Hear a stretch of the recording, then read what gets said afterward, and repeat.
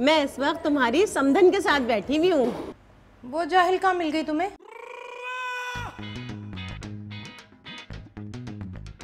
नहीं समीना वो मैं उनकी बात नहीं करी मैं किसी और की बात कर रही हूँ। अरे भाई तो फिर किसकी बात कर रही हो तुम? मैं नादिया की अम्मी और उनकी चची की बात कर रही हूँ। वो लोग मुझे शॉपिंग मॉल में मिल गए हाँ। तो मैं भी तो उन्हीं की बात कर रही हूँ। अरे नहीं नहीं समीना तुम समझी नहीं। वो असल में स्पीकर खुला हुआ था ना। वो तो पहले बताना था ना।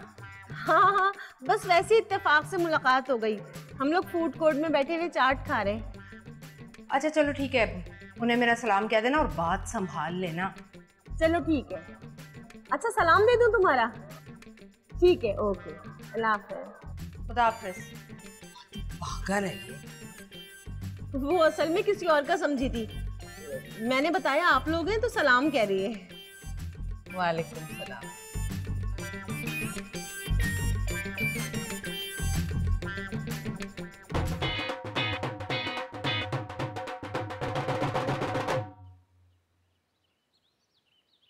अस्सलाम वालेकुम अम्मा आपने बुलाया कोई काम था?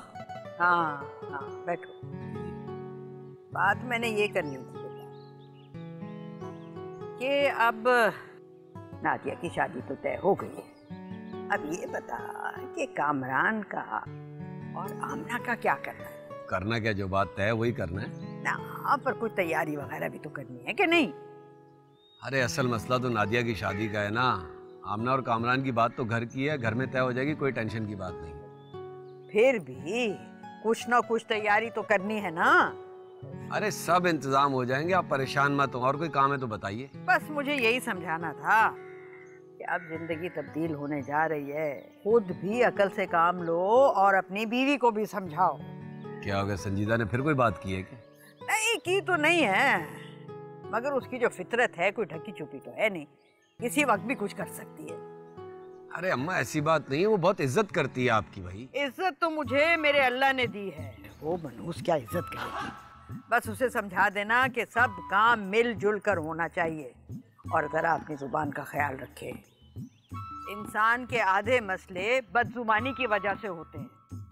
जी मैं समझा दूँगा। अब जाऊँ या और कोई काम है? जाओ।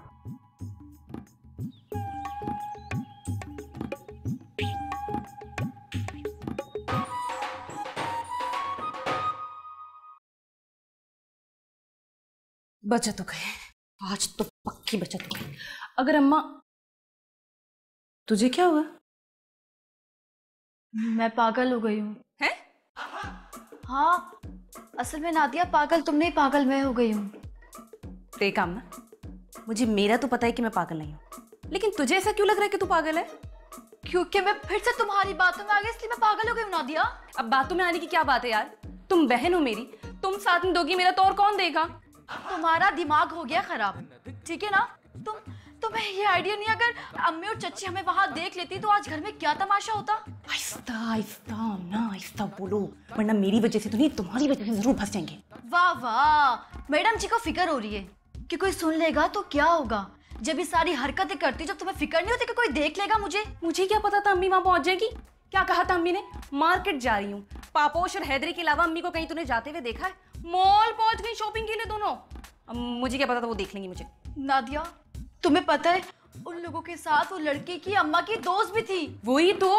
मुझे अभी तक समझ में नहीं आया वो कहाँ से पहुँच गई वहाँ पर। तुम ये सोचो अगर उस खातून ने जाके उस लड़के की अम्मा को सब कुछ बता दिया क्या सोचेंगी वो हमारे बारे में कि ये लड़कियाँ मेरे बेटे के पीछे हाथ पर धोके क्यों पड़ी हुई हैं? कुछ नहीं सोचेंगी आमना मुझे पता है। कुछ नहीं सोचेंगे। ऐसी नहीं है वो।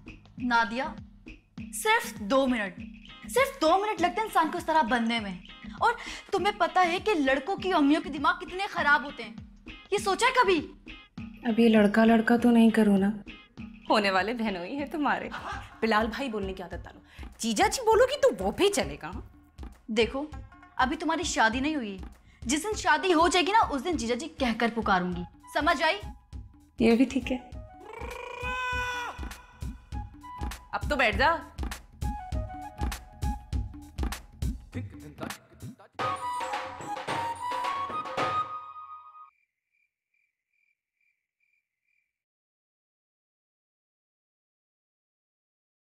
बिलाल अब तुम माँ से मिले बगैर अपने कमरे में जा रहे हो। मैं ऐसा कर सकता हूँ? वो तो मैं अंदर एंटर हुआ तो आप दिखी नहीं मुझे तो मैं ऊपर। अब रूबी का फ़ोन आया था। ओह क्या कह रही थी? कुछ नहीं वो तुम्हारी होने वाली सास से शॉपिंग मॉल में उसकी मुलाकात। हुई फिर क्या हुआ? अब- बस यही बताने के लिए उसने फ़ोन किया था। बस यही बताया उन्होंने? मतलब? नहीं मतलब उन्होंने और कुछ नहीं बताया कि वो क्या कह रही थी टाइप नहीं माँ हाँ, वो तो मैंने नहीं पूछा। माँ अब रूबी आएगी तभी उससे पूछूँगी ना। फ़ोन पर ये सब मुनासिब थोड़ी लगता है। ये भी सही है। वैसे वो वालिद साहब कहाँ हैं? वो वो शायद अपने किसी दोस्त के साथ बाहर गए हमारा गर्द हस्बैंड है आपका। मतलब घर में नहीं टिकते वो। मैं ऊपर जाऊँ शुक्र। शुक्र मतलब? अब अरे भाई अल्लाह का शुक्र अदा कर रही हूँ इतनी अच्छी औलाद दी है अल्लाह ने। और तो आपको करना भी चाहिए। अल्लाह का शुक्र है कि मुझे इतनी अच्छी औलाद बनाया।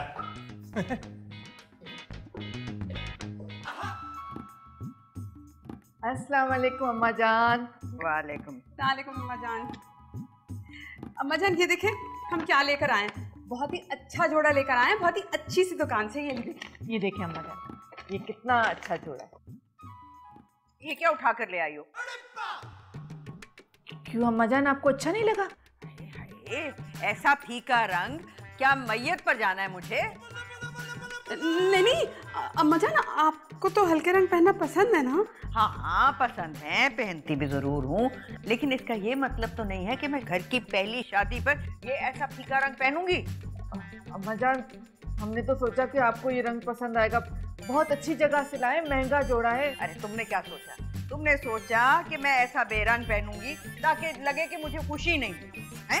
नहीं नहीं अम्मा जान हम तो आपकी बहुत इज़्ज़त करते हैं और हम तो चाहते हैं आप खुश हों। हाँ ये तो तुम्हारी मजबूरी है। नहीं नहीं अम्मा जान ऐसी बातें तो ना करें। आपके दम से तो इस घर में रौनक है। अच्छा आप नाराज़ मत हो। हम ना हम ये जोड़ा चेंज करा देंगे। क्यों संजीदा हो जाएगा ना चेंज? हाँ हाँ वो स्लिप है चेंज हो जाएगा। मैं जरा लड़कियों को देख के आती हूँ कि क्या कर रही हैं। आती हूँ अभी।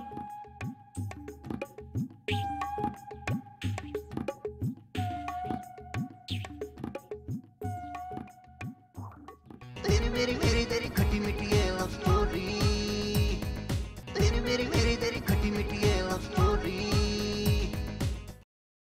क्या मेरे अल्लाह तौबा तौबा तौबा। क्या हुआ अम्मी? क्या होना है? तुम्हारी दादी ने घर में घुसते ही बातें सुनानी शुरू कर दी। क्या हुआ? अरे हम गए थे ना माँ दादी अम्मा का जोड़ा लेने के लिए। उन्हें वो कपड़े पसंद नहीं आए। बस गुस्से में आ गई और तरह तरह के इल्ज़ाम लगाने शुरू कर दिए। अम्मी दादी जान की तबीयत ठीक नहीं है सुबह से। वो चिड़चिड़ी हुई हुई नादिया मुझे सुनाई जा रही है सुबह से। अरे तो हम भी तो थक के आए उनके लिए शॉपिंग करने गए थे।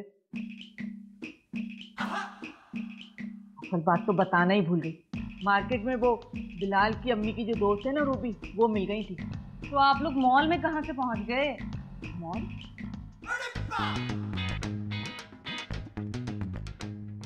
मैंने तुम्हें कब बताया कि हम मॉल गए थे? तुम्हें कैसे पता चला?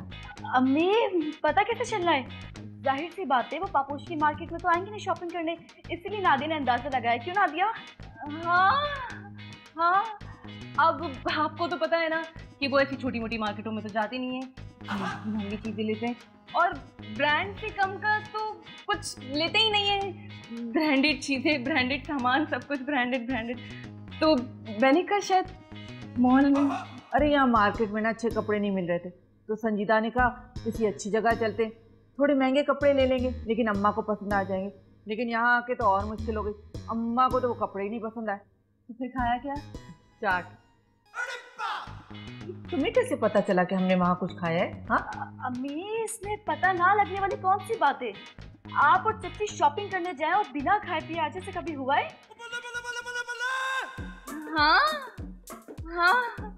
और हमेशा तो आप दोनों जब भी जाते हैं तो कुछ ना कुछ खाकर आते हैं। आज आप बताना भूल गई थी। तो मैंने सोचा मैं आपसे पूछ लूँ कि वहाँ क्या क्या खाया, वो क्या खाया, क्या नहीं अरे, बिल्कुल ठीक कह रही हो हमने वहाँ चाट खाई। इतनी मज़े की चाट थी कि बस, मुझे तुम दोनों बहुत याद आई। और वो जो रूबी है ना, वो भी हमारे साथ थी और उसने फ़ोन करके बिलाल की अम्मी को भी बताया कि वो हम लोगों के साथ है। मुश्किल पड़ गई ना अब।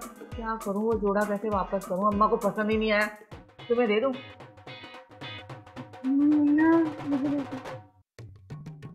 बिलाल की माँ ने बड़ी हकारत से पूछा कि वो जाहिल तुम्हें कहाँ से मिल गए? जाहिल किसको कहा? भाई बाद में तो बात बदल दी थी लेकिन जाहिल हमें कहा ना। क्या बात बदली? कि वो किसी और का समझी थी। हाँ हाँ तो हो सकता है ना। जी नहीं। आरफा भाभी तो इतनी जहीन है नहीं कि वो बातें पकड़ सके। लेकिन इस मामले में मैं बहुत तेज हूँ। वो तो फ़ोन का स्पीकर खुला था इसलिए उनकी जहनियत खुल के सामने आ गई। अरे हो सकता है गलत फहमी हो गई हो तुम फजूल में बदगुमानी मत करो। नासिर आपने बेवकूफ़ बनना है ना तो आप बने। लेकिन मैं बनने के लिए तैयार नहीं हूँ और आज मैं एक पेशेंट गोई कर रही हूँ। और वो ये कि ये एक इंतहाई चालाक औरत है और मियाँ और बेटे को भी ना यही चलाती है और घर में भी सिर्फ़ इसी की चलती है। चलो ये सारी बातें सही हैं लेकिन हमें इससे क्या? हमें तो बस ये दुआ करनी चाहिए कि नादिया उस घर में खुश रहे बस। अल्लाह करे कि खुश रहे। अल्लाह करेगा ऐसा ही होगा इनशाला सुनो वो नादिया की शादी के साथ साथ ना कामरान की शादी की भी तैयारियाँ रखो अम्मा ने कह दिया है। क्यों? क्या मतलब क्यों? भाई दोनों शादियाँ एक साथ होंगी ना? नासिर साथ करना ज़रूरी है क्या? क्या ऐसा नहीं हो सकता कि बाद में कर ले? मतलब हमारी तो घर की बात है ना। अम्मा जान ने कह दिया शादी साथ होगी तो साथ होगी और मैंने भी तुम्हें कह दिया तैयारी करके रखना।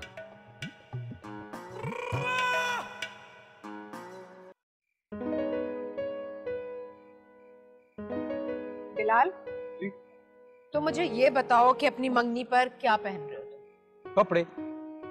मतलब मैं कुछ भी पहन लूँगा क्या फ़र्क पड़ता है? अरे भाई तुम्हारी शादी की तारीख तय होने जा रही है और तुम कह रहे हो कोई फ़र्क नहीं पड़ता।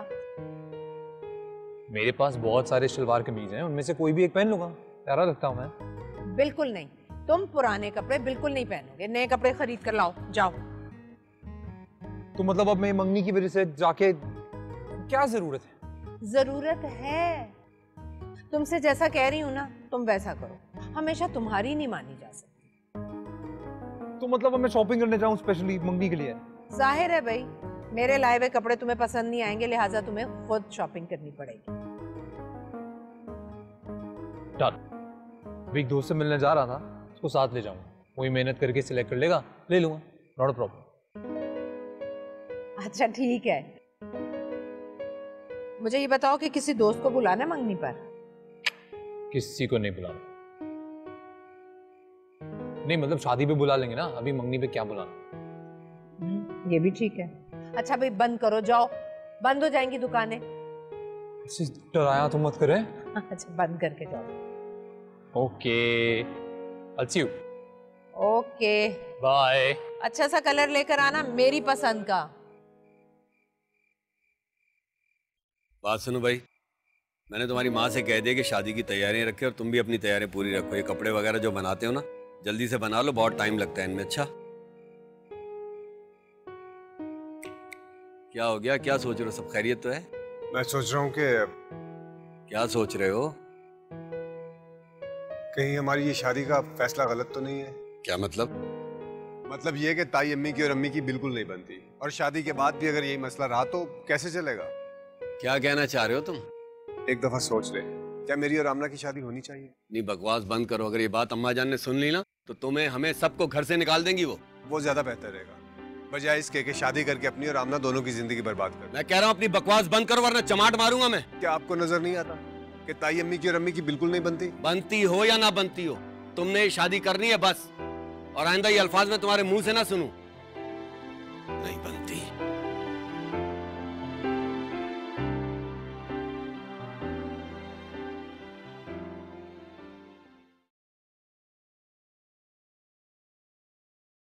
फजल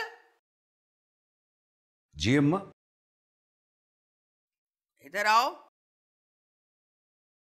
जी अम्मा आपने बुलाया हाँ ये बता कि कारोबार ठीक चल रहा है ना? अल्हम्दुलिल्लाह आपकी दुआएँ अम्मा। दुकान में मुनाफा हो रहा है?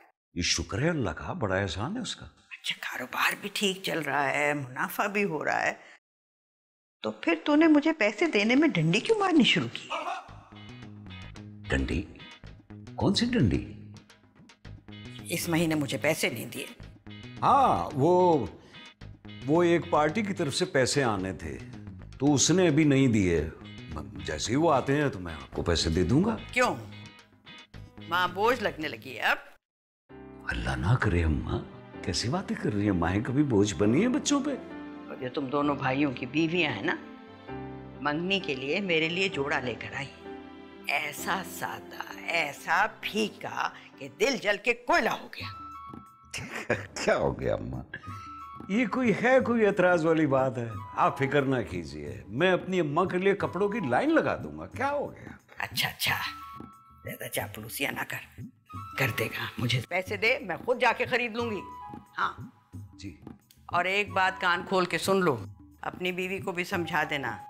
और अपने भाई और भावज के भी कान से गुजार देना। ये मकान और दुकान दोनों मेरे नाम पर हैं। से पंगा किया ना? क्या हो गया, अम्मा? सब कुछ आप ही का है, आप ही की दुआओं से है। कब किसी ने कहा है? ऐसी कोई बात नहीं।